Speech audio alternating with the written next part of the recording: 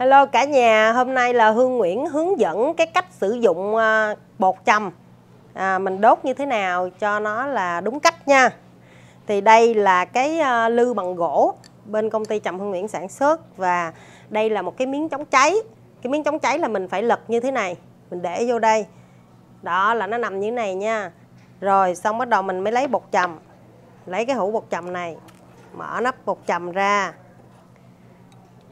rồi mỗi lần mình xong á là mình à, mỗi lần xong chầm á là nửa muỗng vậy thôi nha quý vị. Mình không cần phải lấy quá nhiều đâu. Đó xong mình để vô đây nè.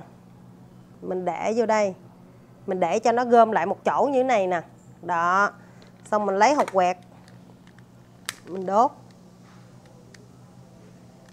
Đó mình đốt khi nó có cái lửa vậy thì mình lấy cái tay mình mình phủi nó đi. Đó cho khi nào nó tắt cái lửa cái khói của nó lên thì mình đậy cái nắp này lại rồi xong mình phải để cách xa mình khoảng 3 4 bước chân thì để mình hửi được cái ờ, cái ngọn trầm thôi. Chứ còn nếu mình để gần quá mình hửi như vậy á, thì nó sẽ nghe mùi khói.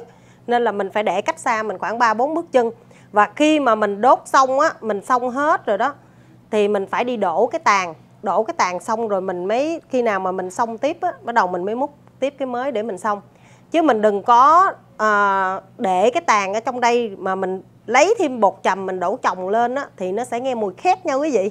Cho nên là cái đó là cái cái cái cách xông chầm như vậy nó sẽ không có đúng. Còn giống như là hương nguyễn đã hướng dẫn với lại quý vị khán giả nãy giờ rồi thì đó là cách xông xông chầm. Đúng cách nhất là mình phải để cách xa mình ba bốn bước chân. Đó. Rồi xong. Bye bye.